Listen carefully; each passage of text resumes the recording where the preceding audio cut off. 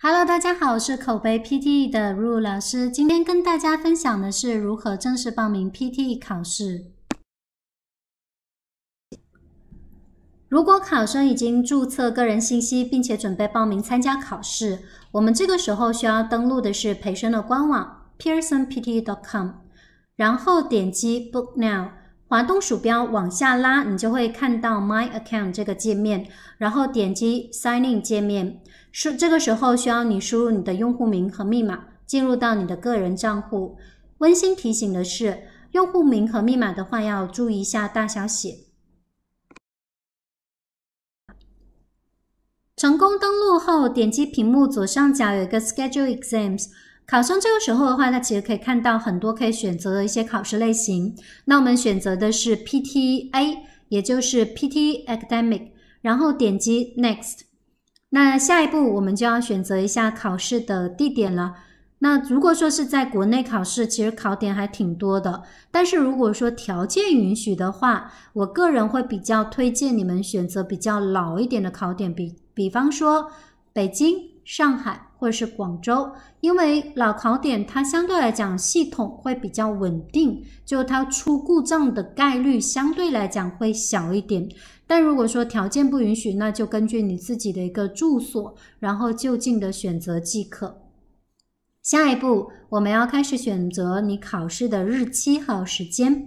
那不同的考点，其实它的时间和日期会有点不一样的，所以根据自己的一个情况来选择。那有些同学也会问说，啊，我到底要选中午还是下午还是晚上的这个考点呢？其实这一块呢，因人而异。因为如果说你起得比较早，那么你可以考虑就是。早上或者是中午的这个场次，那如果说你本身起床就比较晚的，那你在选择的时候可以就考虑一下偏下午或者是偏晚上的这个时间会比较适合。OK，所以因人而异。然后当你选完日期还有时间之后呢，下一步他让你填写的就是个人背景信息这一块的话，其实主要就是。关于你自己的一个教育背景，还有包括一些学习意向方面的信息，其实这块的话不用太紧张，因为有些同学说，啊，那我的情况是移民，但是我不想让别人知道，那我应该怎么填写呢？其实没关系的，因为这块的话，应该是培生他那边可能要做一个问卷调查，其实他对你真实的这个申请不会有太多的影响，所以按照你自就自己的一个情况进行选择就好了。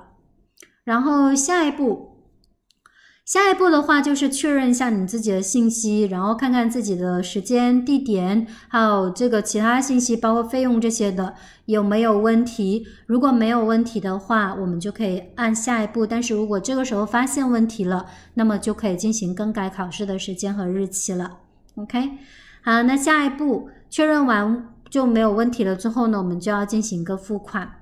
那如果说这个时候你是用优惠券的，比方说有些同学是有 voucher，那这个时候我们就要进行输入了。但如果没有的话，那你就用你自己的信用卡，然后进行支付就好。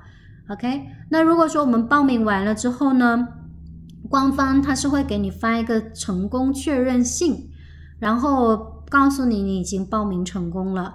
然后这个邮件的话是你当时其实填写账号时候填写的邮件。OK，所以到时候注意查收就好。如果说没有收到的话，你要检查一下你的垃圾箱，看看说邮件是否是自动发送到那里了。OK，